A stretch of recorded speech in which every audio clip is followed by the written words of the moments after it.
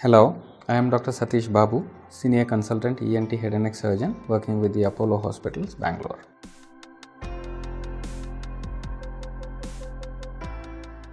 Right. Nasal irrigation, uh, on contrary to the beliefs, uh, is, not actually painful or uh, it doesn't cause any burning sensation or anything.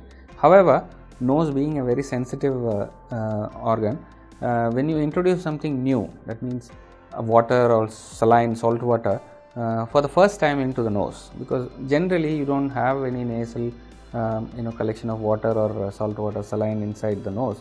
So when you introduce this for the first time you might feel a little odd might might feel a slight sting uh, when you first use it.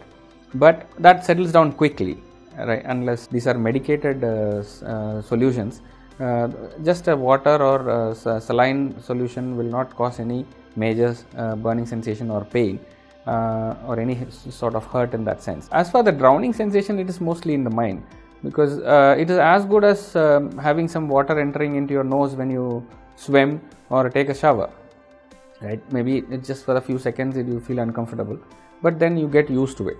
And of course you have a, a good valve mechanism uh, in your soft palate or small tongue region uh, which will block off the entire nose cavity from the breathing passage right by constricting.